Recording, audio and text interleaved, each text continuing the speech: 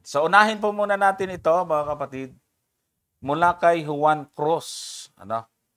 Tanong po, bakit ang Hudyo or Jews, bayan ng Diyos, chosen people of God?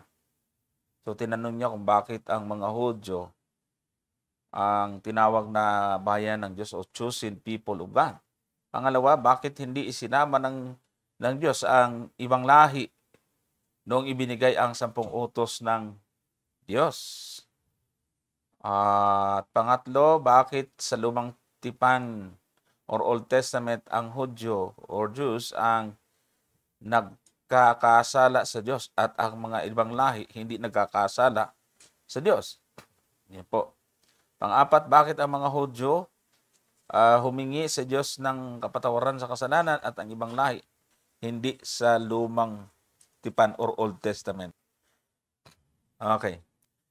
Uh, kapatid, ang sabi niya kasi ay bakit Brother Gomer ang uh, Hudyo ang uh, bayan ng Diyos or chosen people of God. So, para sa akin, ako ibigay kay Brother Gomer, ay uh, yan o ay katuparan ng pangako or sumpa ng Diyos ano, kay Abraham. Basahin mo muna natin itong Deuteronomy 7.7 at 8. Ang sabi po dyan, hindi kayo inibig ng Panginoon, ni pinili kayo nang dahil sa kayo'y marami sa bilang kaysa alinmang bayan, sapagkat kayo ang pinakamaliit sa lahat ng mga bayan. Kundi dahil sa inibig kayo ng Panginoon at dahil sa kanyang tinupad ang sumpa na kanyang isinumpa sa inyong mga magulang ay inilabas kayo ng Panginoon sa magitan ng makapangyarihang kamay at tinubos kayo sa bahay ng pagkaalipin mula sa kamay ni Faraon na hari sa Ehipto. So dito sa talatang 8, kapatid na Juan, ay uh, makikita natin na mayroon pong naunang uh, pangako ang Panginoon sa mga magulang ng mga Israelita. Kaya nung maalipin sila bilang pagtupad sa pangakong iyon, inilabas po sila sa bahay ng pagkailipin mula sa kamay ni Paraon. So kung bakit sila ang chosen people, hindi dahil sa marami sa bilang kasi maliit ang kanilang bilang. Na, kundi ang pinagkuhanan talaga at kung bakit silang pinili dahil sa meron pong uh, sumpa na ginawa ang Panginoon. Eh, tanong, kanino po ba nangyari ang kanyang pangakong iyon? Kung babalikan po natin ang Hinesis sa Kapitulo 17, talatang 7 at 8 din po, ay ganito ang ating mababasa. At aking pagtitibayan ng aking tipan sa iyo at sa iyong binhi, pagkamatay mo sa buong kalahayan nila, na tipang walang hanggan na ako'y magiging iyong Diyos at ng iyong binhi pagkamatay mo. At ibibigay ko sa iyo at sa iyong binhi, pagkamatay mo ang lupaing iyong mga pinaglakbayan ang buong lupain ng kanaan na pag-aaring walang hanggan at ako ang magiging Diyos nila. So ito po ay alam natin ang istoryang ito ay yung pangako ng Diyos kay Abraham. So kahit mamatay na ika si Abraham, ay toto pa rin ng Diyos ang kanyang pangako, yung lupang kanaan, sa kanyang mga binhi. Eh kaya natupad ngayon nung maalipin ang ang Israel ay uh, ito po tinawag at hinango sa pangalan ni Jacob na matapos makipagbuno ay tinawag na Israel. Ibig sabihin, nagtagumpay. Si Jacob ay anak ni Isaac at si Isaac ay anak ni Abraham. So pangat nangako ang Diyos kay Abraham na sa kanya manggagaling ang namara, maraming mga binhi. Ano po, pararamihin. So bilang pagtupad sa pangako ng Diyos at tipan ng, ng Diyos sa kanila, ay ayun, inilabas sila sa pagkaalipin kaya hindi po aksidente ang pagkapili po sa kanila, kundi talagang bunga ho ito ng pangako. Pero wag ho natin i-misinterpret na parang sila lang ang mahal ng Diyos. May purpose. Mamaya ho, sa mga kasunod po ninyong tanong, malalaman po natin ang purpose. Gusto ko ibigay kay Brother Gomer ang time. Brother Johnson, uh, yun, maliwanag na maliwanag naman yung inyong sagot dun sa tanong na yun kung paano bakit pinili ay sapagkat yun talaga yung ano, yun talaga yung pangako ng Diyos sa bayang Israel, no? Ah, sa kay Abraham, brother, mga kapatid. At 'yon ay bilang pagtupad Ah, ganun kasi ang, ang Panginoon eh. Ah, talagang ang kanyang pangako eh hindi pwedeng hindi niya tuparin kay Abraham sapagkat si Abraham, ang sabi niya nga eh ah, naging masunurin sa kanya. Ang sabi doon sa isang talata ng Genesis, Brother Johnson, para makita lang po ninyo na si Abraham ay talagang naging tapat sa Diyos sa kanyang buhay bago siya mamatay. Kaya naman ang ating Panginoon ay talagang ah, tumupad din sa kanyang pangako. Ayan ay nasa 26 verse. Siguro umpisahan natin sa verse 4. Ang sabi rito, at aking pararamihin ang iyong binhi na gaya ng mga bituin sa langit at ibibigay ko sa iyong binhi ang lahat ng lupaing ito at pagpapalain sa iyong binhi ang lahat ng bansa sa lupa. Sapagkat sinunod ni Abraham ang aking tinig at ginanap ang aking bilin, ang aking mga utos, ang aking mga palatunton, at ang aking mga kautosan. So nakita po natin kung papaano na tinawag ng Panginoon ang ating amang si Abraham. Si Abraham ay, bagamat of course, nakita naman natin, mayroong mga ah, kakaunting mga pagkakamali. Siya po nakapagsinungaling, ano? Naniwala din sa kaisara na kunin si Hagar bilang asawa. Pero ah, in conclusion, ang sabi ng ating Panginoon ay talagang itong si Abraham, Brother Johnson, ay ginanap ang kanyang bilin, ang kanyang utos, ang kanyang palatuntunan at ang kanyang mga kautusan. At ang kanyang pangako ay pararamihin ang kanyang lahi. At yung lahi na yon ay magmamana ng lupang kanaan. Yun ang dahilan kung bakit ang bayang Israel ang pinili ng Diyos, Brother Johnson. Ah, yan. Okay, so yan po yung ating sagot sa unang tanong. At ang pangalawa niyang tanong dito ay bakit hindi isinama ng Diyos ang ibang lahi Ah, noong ibinigay ang sampung utos ng Diyos? Ah, hindi isinama ang ibang lahi nung ibinigay. Mag-isa lang si Moises nang binigyan, pero hindi ibig sabihin ay sila lang yung susunod. Ano po? Ah, parang ang gusto niya siguro sabihin, bakit hindi kasama sa inutusan? Actually, Brother Gumer, eh, inu- kasama nga eh, doon sa pag-uutos eh. Pati yung hindi Israelita inutusan, di ba? Tama, tama. Oh, eh, siguro, basta ibigyan natin yung talata. Lalo na yun doon sa ikaapat na utos, na sabi doon sa sa 8 muna hanggang 10, alalahanin mo ang mga ang araw na sabat upang ipangilin. Anim na araw na gagawa ka at yung gagawin ang lahat ng iyong gawain. Ngunit ang ikapitong araw ay sabat sa Panginoon mong Diyos. Sa araw na iyan huwag kang gagawa ng anumang gawa, ikaw, ni ang iyong anak na lalaki ni babae, ni ang iyong iliping lalaki ni babae, ni ang iyong baka, ni ang iyong taga-ibang lupa na nasa loob ng iyong pintuang daan. So, ibig sabihin ay pati hindi Israelita, sakop. Ngayon, ang tanong ay ah, bakit hindi rin ah, kasama doon sa pinagpahayagan ng Diyos ng kanyang kautusan? Kay Moises lamang at doon ibinigay sa Israel. Doon nagkakaroon ng problema, Brother ah, Gomer, na parang walang pakialam ang Diyos sa ibang bayan. Actually, lagi na natin binabasa ito, ah, yung sa Roma 3, na pinagkatiwala lamang ito sa kanila. Sa 1 at 2, ano ang kahigitan ng Hudyo o ano ang pakikinabang pagtutuli? Marami sa anumang paraan, ang una sa lahat ay ipinagkatiwala sa kanila ang mga aral ng Diyos. So ipinagkatiwala, ibig sabihin, hindi sila lang ang susunod. Kaya yung pagbibigay sa kanila ng Diyos, para sila po yung magdaladalaw ng ah, mag, mag babahagi nito sa ibang bayan. Ano po, mga kapatid? Kumbaga, di ba, merong mga tinatawag tayong mga, mga channel pagka merong ipamimigay. Halimbawa, parang ganito eh, yung ayuda. No? Di naman diretso kaagad binigay sa atin ng mga saan nanggaling yan eh. Pinadaan muna yan sa mga munisipyo, barangay, uh, chairman. Ayan, bago nakarating sa atin. So, ang ibig sabihin, hindi ibig sabihin ay kung mukod sa kanila ibinigayan, ay sila lang talaga ang susunod.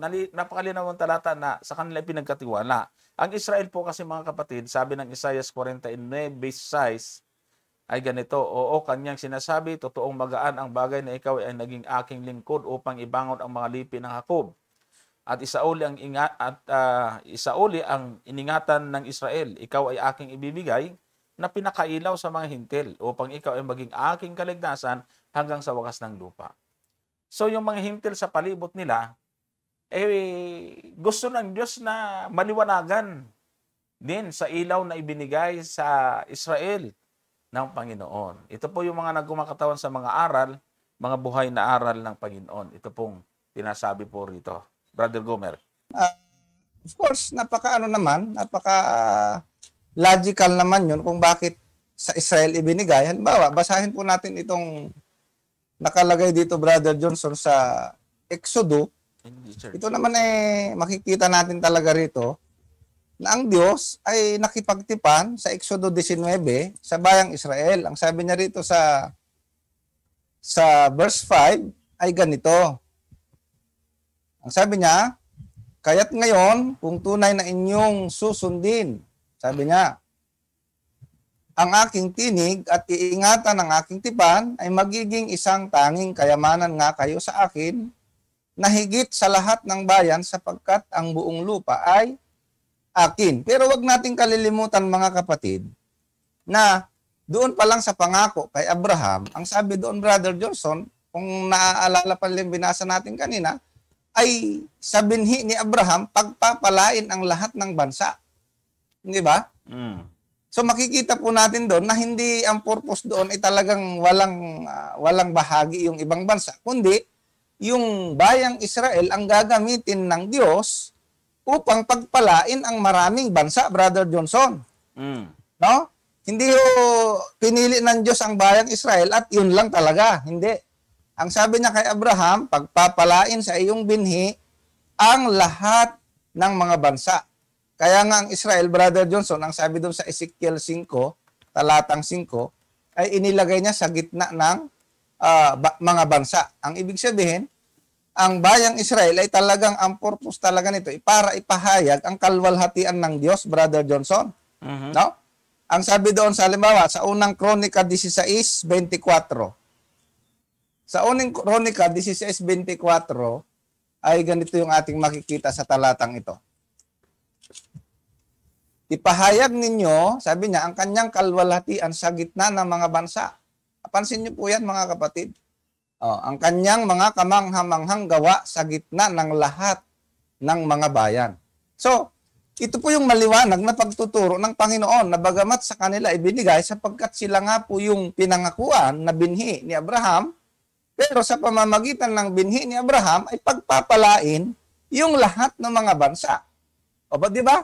O, ngayon, paano bang sila ipagpapalain? Mayroon ditong isinulat, Brother Johnson, si Isayas. Tingnan po ninyo sa Isayas 2. Basahin po natin ang talata talatang 2. Mangyayari sa mga uling araw na mga na ang bundok ng bahay ng Panginoon ay matatatag bilang pinakamataas sa mga bundok at itataas sa ibabaw ng mga burol at lahat ng bansa ay pupunta roon. Sa verse 3, ayan, at maraming bayan ang magsisiyaon at magsasabi, halina kayo at tayo magsiahon sa bundok ng Panginoon sa bayan ng Diyos ni Jacob.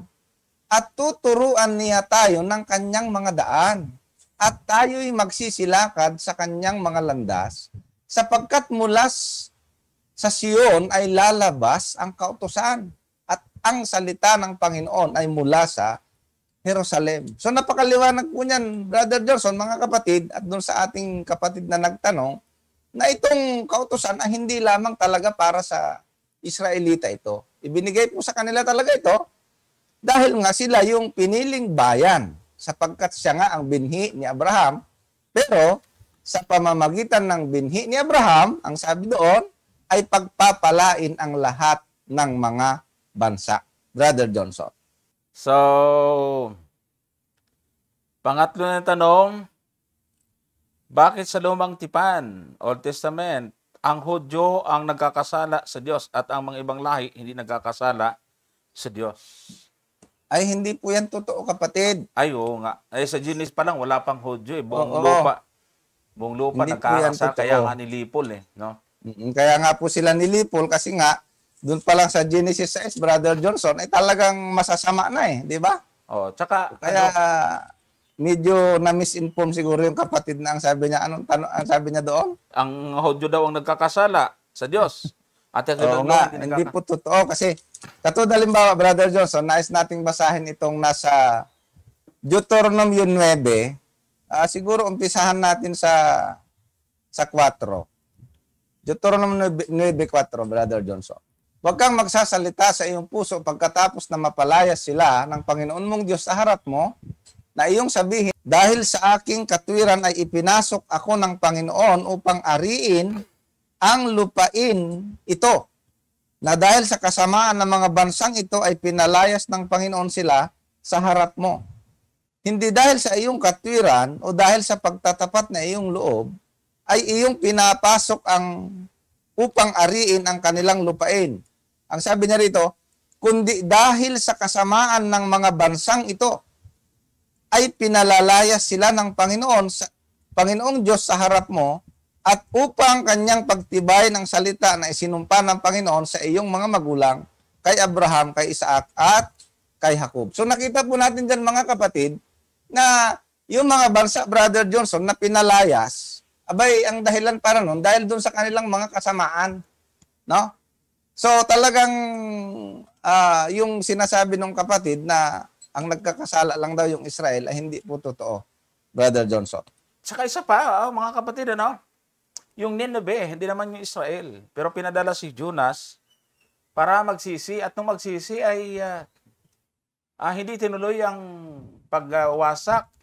At saka yung Sodoma at Gomorrah, eh, bakit pa, nang, bakit eh, kung walang kasi nila kasalanan, abit sila nilipol. Oh, eh mas matindi ang kasalanan nila. Kaya Brother Juan Cruz, ah, yun po ang ano bagay na dapat po ninyo ding pag-aralan ano. Na parang absuelto, mabuti pa palang hindi naging Israel at least walang kasalanan. Ganun ba 'yon? Ah, hindi po ganon. Manapa ang Israelita ang maging karoon ng malaking papel para ipahayag ano, ipahayag ang kasalanan ng iba sa magitan ng kautusan ng Diyos. Pang-apat to dito, ang sabi niya ay ah, ah, pang-apat bakit ang mga Hudyo humihingi ng humingi sa Diyos ng kapatawaran sa kasalanan at ang ibang lahi ay hindi. Oh, so, yun na nga yung sinasabi po natin sa Nineveh. Basahin lang po ninyo yung aklat ng Jonas, yung Hunas, ay makikita niyo po doon na din, pinadala doon si Jonas sa Nineveh para magsisi, no? Kaya kaya hindi natuloy ang paghatol sa Nineveh dahil nagsisi o napatawad sila ng Diyos. O yun na po yung buong istorya yun. Brother Gomer. Tama, Brother Johnson. Meron naman talagang mga bansa na nagsisisit. Ah, ano nga eh, nag, pumupunta nga sa Israel at gustong magpasakop din sa Israel, Brother Johnson. Kaya nga, ang sabi niya doon sa Isaiah 56, o tingnan po natin ito, may mga bansa na nakikisanib sa Israel, Brother Johnson, kasi nga nakikita nila na itong bansang Israel ito yung talagang may Diyos. Kaya ang sabi niya sa 56 verse 6, pansinin po ninyo ito. No? Gayon din ang mga taga-ibang lupa. O pansinin po niya na, ang mga taga-ibang lupa na nakikilakip sa Panginoon upang magsipangasiwa sa Kanya at magsiibig sa pangalan ng Panginoon, sabi niya, at magsiibig sa pangalan ng Panginoon upang maging Kanyang mga lingkod.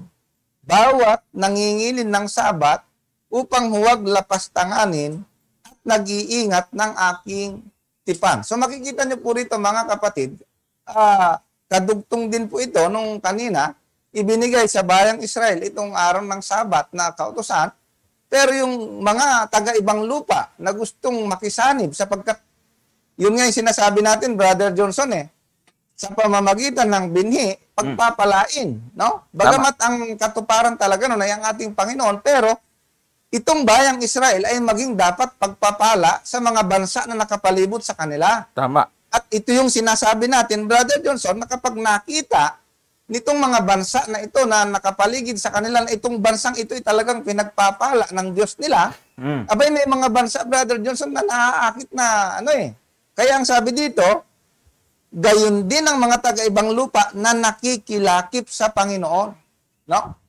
Upang kanyang maging mga lingkod. So napansin niyo po yan mga kapatid. So bukas po, ano, bukas ang pintuan ng bayan ng Diyos para sa mga taong gustong maglingkod sa Kanya, kahit anong lahi pa yan, Brother Johnson. Tama. So, ayan, kaya nga, ah, iniligay silang sa gitna ng mga bansa Tama, tama. uh, para maging sentro o sila talaga mayroong mahalagang ah, ika nga ay ah, gampanin, mga kapatid.